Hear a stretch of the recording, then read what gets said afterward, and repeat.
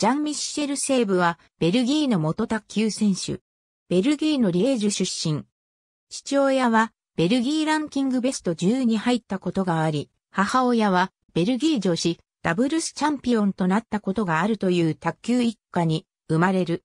9歳で卓球を始め、弟のフィリップと共に恵まれた練習環境を求めて、毎週末にはドイツのクラブで練習を重ねた。13歳で世界選手権に初出場し、ジュニア時代には練習のために単身でヨーロッパ、アジアを渡り歩く。一発の威力はそれほどないが、相手に休む間を与えないフォアハンドによるドライブの連打を武器に、世界のトップへと成長を遂げた。1993年の世界選手権、イエーテボリ大会では、男子シングルスで準優勝し、1994年には世界ランキング1位となる。同年のヨーロッパ選手権男子シングルスでは、長年課題と言われ続けたバックハンドドライブに心境を見せ、決勝でワルドナーを破り優勝を果たした。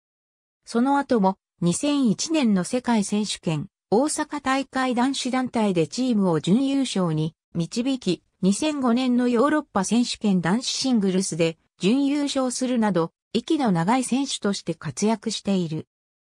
北京オリンピック男子シングルスの出場権を最終予選3位というギリギリの成績で獲得。これで卓球がオリンピックの正式種目に採用されたソウルオリンピックから6大会連続出場となる。現在、現役を引退していないながら、ベルギーオリンピック委員としての活動を開始するなど、コート外での活動が活発になりつつある。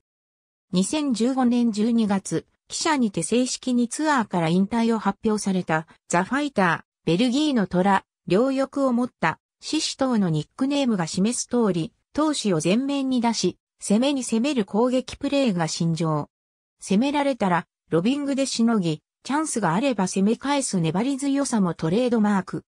特にテーブル上でにバウンドするかしないかの通常のプレイヤーなら台に指を打ちつけてしまう。恐怖感から強打できないボールをいとも簡単に強打するプレーと、その勇気は誰も真似できない。ありがとうございます。